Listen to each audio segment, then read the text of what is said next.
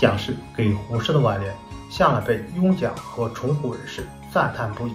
但是这幅挽联并不是什么好话也与胡适思想差距甚远而胡适的地位也不可能有全人来盖棺论定知识人和全人之间的关系向来矛盾重重但又彼此依附而二者之间的较量的结果又往往以知识的悲剧来收场比如胡适。